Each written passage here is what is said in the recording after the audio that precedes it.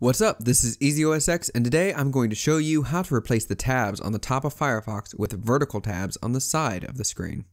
Before we begin, I'll show you that I'm using Firefox version 97 at the time of this recording, and this method works currently.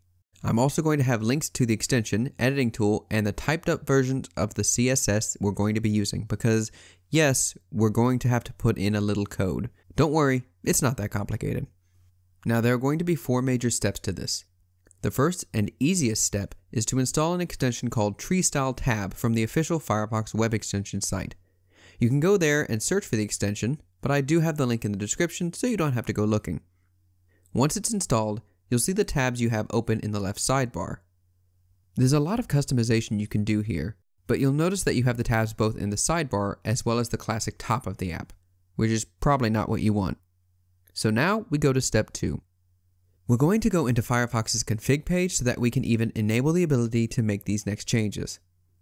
To do so, go to the URL bar at the top of the page where you type in website addresses. Now type in about colon config and hit enter. You're going to get a warning to proceed with caution. Just hit accept and continue.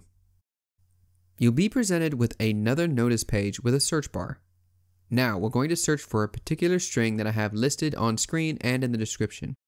It reads toolkit.legacyuserprofile But you'll notice as you start typing, Firefox will start autofilling the results below. So by the time we get to the .legacy portion, we have the string we want. By default, it'll be listed as false. Double clicking this line will change it to true, which is what we want. With that, we can close out of Firefox for now. Now we're going on to step 3, where we're going to create the CSS file. I'm going to start with the most basic version of this, but once I show you that it's working, I'm going to show you how to customize it to make it look a little better. You can use a basic text editor to make this, but I'd recommend using a dedicated code editor. I'd recommend BBEdit instead. It's my personal favorite and has a free version, which is more than enough for what we're going to do. If you're on Windows, then I'd recommend Notepad++, and my Linux friends can use gedit. Once you have your text editor of choice, open it up, and make a new document in it. Then we're going to type in the CSS code. Now I've got this code in the description if you want to just read it and copy it, but if you want to type it out, then the code is as follows. Hashtag or pound sign, tab browser dash tabs, all one word. Next we'll put in the curly brackets, which is above your enter key. Now I'm going to type visibility, colon, space, collapse, space, exclamation mark, important, semicolon. Make sure there's no space between the exclamation mark and important. And I'm going to make them on two separate lines and tab this over. This is just for readability's sake. It does not affect anything with the actual code. Once you've got that typed out, save the file to your desktop as userchrome.css, making sure user Chrome is all one word and the C in Chrome is capitalized. Where you put this file is OS specific, and as a Mac channel, I'm going to be working with the path on Mac. But for my Windows and Linux friends, I've got the paths to where you need to go on screen and in the video description. Even though the path is different on each platform, once you're there, the steps will be the same. If you're following along on Windows and Linux and you're at that location on your platform, jump to the timestamp on screen to continue. Back to the task at hand. Open a new Finder window and hit the Go option in the menu bar. Then hit Go to Folder. You're going to have to type in the path you see on screen and the description so you can just type or paste that in to save time, but I'll also navigate through the folders with you if you prefer to see it. Type in tilde, which is the little wavy dash typically next to the one key on the keyboard, then a forward slash, which is next to the right shift key, then library. Hit enter and then open the application support folder, then scroll down and open the Firefox folder, then the profiles folder. Once you're in here, you'll need to open your profile folder, assuming you have multiple. If you only have one, then just open that one. In my case, I'm clicking on the EasyOSX folder. And just in case you're wondering, these changes will only affect the profile that you add it to. So other people using Firefox on your computer in their own computer user accounts or other Firefox profiles you use won't be affected by this. Once you're in here, you'll need to make a new folder labeled Chrome, all lowercase. Once you've created it, open that folder. Then just drag and drop the CSS file you created into that folder. Finally, open Firefox and you'll see that the top tab bar is gone. Try saying that three times fast. And you only have your tabs on the left hand side. Now, if you're looking at this and happy with it, then you're all done. Thanks for watching.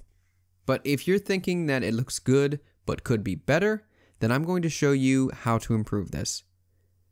We're going to add a little more to our CSS file.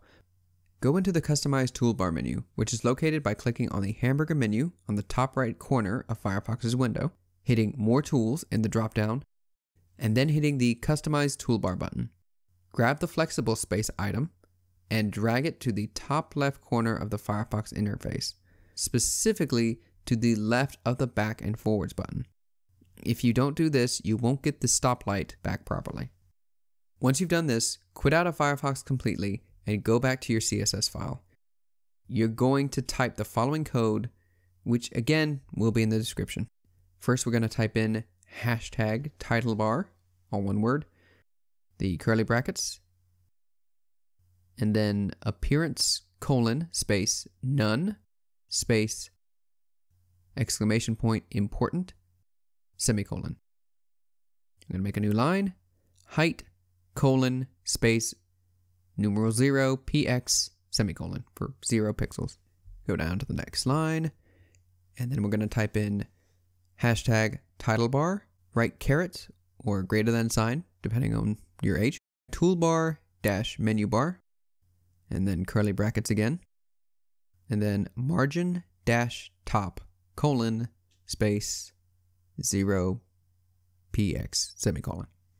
Make a third line here and do hashtag tabs toolbar and capitalize the T's in tabs and toolbar and make it all one word. Curly brackets, min dash width, colon, space zero, space, exclamation mark important, semicolon. New line, min dash height, colon, space, zero, exclamation point important, semicolon. And finally, we're going to go to the last line of code, which is the longest. Hashtag tabs toolbar, again, all one word, T's in tabs and toolbar capitalized. Space right caret, space period, title bar, dash button box, dash container. No spaces at all. Curly brackets. Display colon space block semicolon position colon space absolute semicolon top colon space 12 px semicolon and then left colon space 0 px semicolon. Once you've done that, save the file, open up Firefox again, and you'll have this nicely unified top interface with all your tabs on the left side of the screen. Oh, and in case you want the sidebar on the right, hit the tree style tab drop down at the top of the list and hit move sidebar to right. Thank you all so much for watching. If this video helped you out, then give it a like. It'll really help the channel out. Likewise, if you want more Mac, iOS, and other Apple tips, tricks, and advice, you can subscribe to the channel. You can also check out the website, easyosx.net, as well as our social media pages. Thank you all so much for watching, and I'll catch you next time.